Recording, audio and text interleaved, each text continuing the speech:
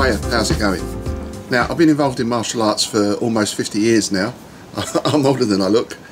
And during that time, I've been lucky enough to be involved with people from a wide range of backgrounds. So that includes everything from sort of hardcore combatives and military people, modern and traditional martial arts, sports people, professional people, dancers, people who just want to keep fit, Uh, ranging in age from sort of teenagers up to people in their 80s. I think was our oldest student was a splendid chap in his 80s. So I've seen some people come and go, and I've seen some trends come and go as well. And one trend that, well, to my experience anyway, started in the late 80s in the Chinese arts in particular was this notion of no contact work, working without physical contact. So this was quite prevalent in certain types of Chinese art, the internal arts mostly. I know or I have seen it in some other arts as well from other places, but my initial experience was in the Chinese arts. So that's what I'm going to talk about first of all. The theory behind it, or the way it was explained to me by several people, is that the body has this natural energy, which the Chinese call qi, and through certain practices, certain methods of breathing and movement and so on, we can learn to accumulate this energy, to harness it, to increase it and to focus it. That energy can be focused to such an extent that it can be transmitted to another person. Okay, so, you know, I don't have too much argument with that. Explanations can differ, of course, but I've had quite a lot of experience with uh, health work where yes you can feel something in your own body. Yes another person can feel that if you do this kind of thing. And of course the body has its own energy right? Its own electromagnetic energy or bioenergy or whatever you want to call it. I, don't really want to get into names and terms too much in this. But then this went a stage further and we got into this idea of no contact work or it was really more known as empty force in Chinese arts uh, because I'm going to distinguish empty force from no contact work in a little bit. So now the theory was, or the practice, that you could transmit this energy out of your hand and it would provide enough force to stop, physically stop another person or to affect them in some way and make them dance around or fall over or whatever the uh, transmitter wanted it to do. In effect, you could control a person from a distance through the use of this energy. Now, before we go any further, I just want to make this clear because as soon as you put up anything like this, uh, you can reference my Power of Chi video from a little while back. As soon as you put up anything like this, someone pops up and says, oh, but you have to do it, you have to experience it to understand it, you, you have to do this, you have to do that. Okay, so just let me make it clear again. I've seen a lot of people do this, I've gone through the training, uh, I've seen various explanations given and everything else. So let's just get that out of the way. Oh, and then the other thing they'll say is, oh, but you need to go and see my teacher because my teacher's the only one who can do it properly. Great, I'm open-minded, I'll go and see anything with an open mind where is your teacher? Uh, oh, he's doing a workshop in Brazil next week. You could pop over and, right, okay, it's not going to happen quite clearly. You know, I'm not a man of means. But if your teacher or you are in the UK, I'm happy to travel within the UK as long as I can bring a video camera and I'm happy to test this empty force out in any way you would like. Because my experience, and I'll get onto that in a second, is such that I don't think empty force works on anyone but your own students. Now I could go into the who's and when's and how's and why's but I want to keep this vlog reasonably short, it's going to be long enough as it is. But two quick examples. So when my first teacher started getting into empty force work, because this was something you had to do if you were going to be a master, right? He had a group of students who he would gesture at and they would fall over or they'd come running into him and they'd be stopped like uh, they'd run into some sort of invisible wall or he'd have them try and punch him and they'd sort of freeze in place. And he asked me one evening to punch him and I wasn't trying to be clever, wasn't trying to be funny or anything else but he asked me to punch him here and you know not a, a super hard punch so I did and I hit him. Again not hard or anything you know but I hit him and the look on his face, it was quite clear that I'd done something wrong because what I should have done, of course, is gone and fallen in with everything else that was going on. So, in a way, that was the start of the end in that particular school. Another example was there was an event held in Newcastle, this was in the 90s, every year, and uh, it got quite a good group of people from mostly Chinese arts backgrounds. We used to go up there, at the time I was working with Dave Nicholson, so we used to go up there with some of our people and, and other sort of um, top teachers were there as well. And the guy who ran the event would spend the last half hour, 40 minutes doing empty force stuff on his students, all, all sorts of weird stuff. They'd be running at him, he'd be sending them flying, all sorts of things. Of course, we were naturally curious and we asked him, Can you try that on us? And he kind of wouldn't really, and then he tried to do a little bit, and nothing really happened. So I could give other examples, but point is, I've had direct experience of this with a range of people, and it's something I was involved in training, if you like, myself. But this is another thing that happens, you see. We had an incident one time where some people came down to the club. It wasn't particularly uh, fractious or anything, but nonetheless I had, I had to do something. I had uh, a little go with this guy who wanted to try some stuff out and I managed to take him down to the floor, probably more by luck than judgment. About a month later I heard one of the other students who hadn't even been there that night say, oh yeah, yeah, I heard that guy came in and Rob just lifted his hand up and the guy fell down. I wish. So that's how these things can start, right? I mean, I heard one recently from someone saying about his teacher or he knew of a teacher who was able to freeze a crocodile in place, right, with a simple word. And the crocodile was frozen and he managed to escape. Well, that's easily put to the test. You know, that's all I'm saying on that. So there's obviously something going on, right? Because people are reacting. In that sense, empty force is real because these people are having a reaction. But the question is, why are they reacting? And my point of view is that they are reacting because they've been gradually conditioned to do so, to react in a certain way. So what I'll do now is I'll get a couple of the lads in and I'll show you how I think that happens obviously we're going to accelerate that process because you know it can take weeks or months or years to condition people in a certain way but I'll talk about that first.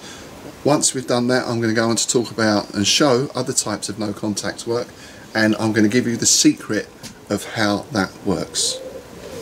So again I'm going to try and uh, compress this process into like 90 seconds but this will take place over a period of weeks months even years.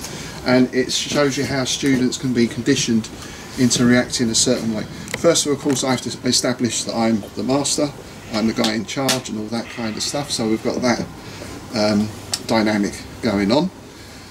But it can start with something as simple as this. If, if Andy just crosses his hands, if you just bring one foot forward. So if I do, uh, I'll just take it that way. If I just do like a typical sort of Tai Chi push, I can push Andy away, and off he goes. But you're not doing it right. Okay, so what you need to do when I push you, you need to dispel the energy by doing, if you push me and I'll show you.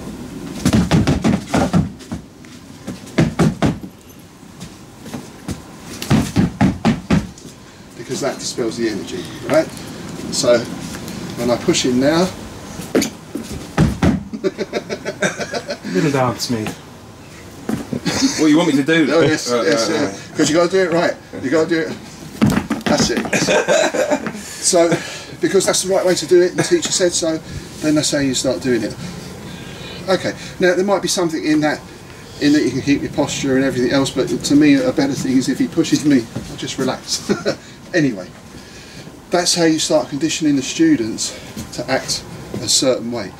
That will then soon come into, if you come towards me in some way and I make a pushing movement, you're conditioned to that same response. If I come to you and you do the push movement, Please, Renata.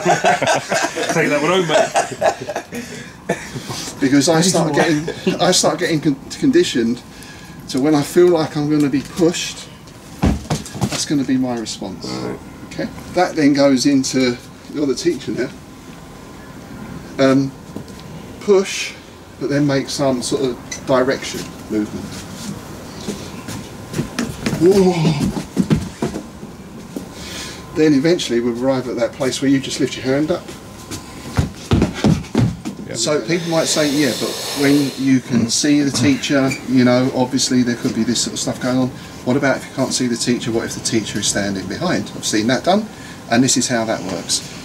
You ask the person to stand up straight. He stands to attention. You see? How everything is lifted up. Now, even if I leave him on his own, and he's got good balance and he's relaxed inside, so you know he, he might have to exaggerate a little bit. But what happens if you get most people to stand like this for a little while? They start to maybe move a little bit, right? If the teacher is in front of them, then it's yes, it's even easier to get them to move because you can start doing that.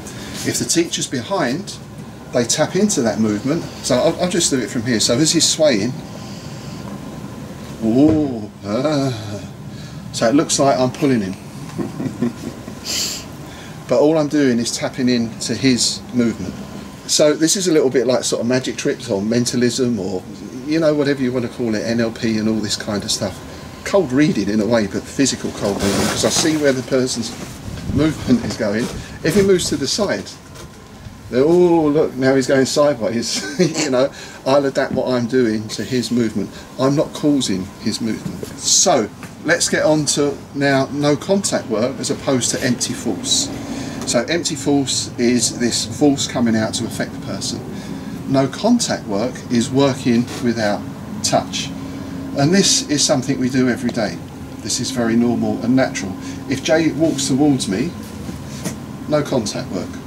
I made him stop without touching him, right? So on your basic level, it's really getting that flinch.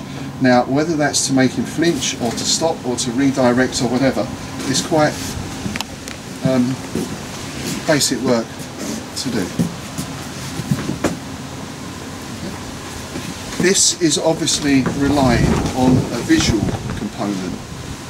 So if I ask Jay to close his eyes, just keep your eyes closed, walk towards me, nothing's going to happen.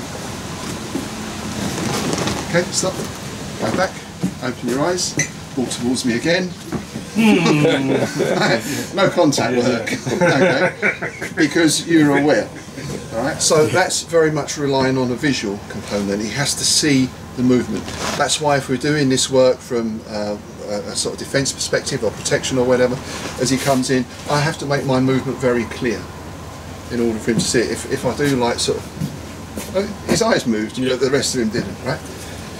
Um, but we can of course work in other ways. We don't necessarily need to rely on the visual. So if I ask Jay to close his eyes again and just, actually just take a couple of steps forward. There we go. Right, I've got him to move without touching him, simply by asking him. So in any self-defense situation, there's a visual component, there's a verbal component, and there's that, um, you know, there's a lot of information going backwards and forwards that is non-verbal, how we stand, how we position ourselves, and everything else. So that's the basis for the no contact work in Systema and the things that I've been shown. That is quite a, a, sort of basic level. It, it, can take some practice to get that, but then you can work deeper into that as well. So there's a concept of like, um, if you just come and just put your weight on my arm, can you put both hands out and right? So that's called giving someone support. Okay, if you go back again, support. Go back again. No contact work. Again, you could call that a feint or something. And this can all be done with varying degrees of subtlety, right? But this is all psychological. And here's the secret of no contact work, drum roll. There has to be contact. There has to be contact. There's contact, right? Not necessarily physical contact, but there has to be contact. I can't put Jay in the corner over there and stand here and go and make him move because there's no contact. If we put headphones on him, play some nice music, perhaps a blindfold, you know, nothing I do then will affect him because there's no contact. Now that's not to say sometimes you will feel contact in another way and this is something everyone gets at some time like if you're here someone comes and stands here you feel it. Okay, So that's part of our bodily awareness, our intuition or whatever you want to call it. Again, there's nothing mystical or magical about that.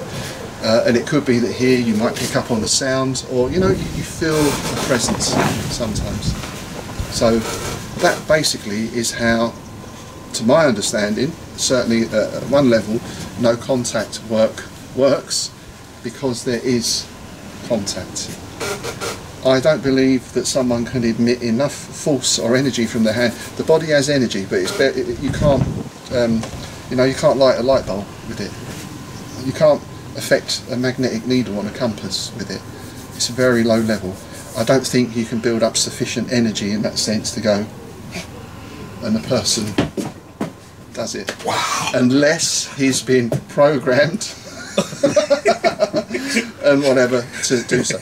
So this is where you have to be very careful as an instructor because if your student, like if Jay comes in to attack me or do something, oh, now on one hand that might be something I can use, but if that becomes a conditioned response in you and a conditioned response in me, it's no good. Better if he comes in, whatever I do, you just go around it and you keep, well, all right, all right, that's better. For me as a teacher, I think, oh, that didn't work, I got hit, but good, because if it doesn't work, why do you want to do it?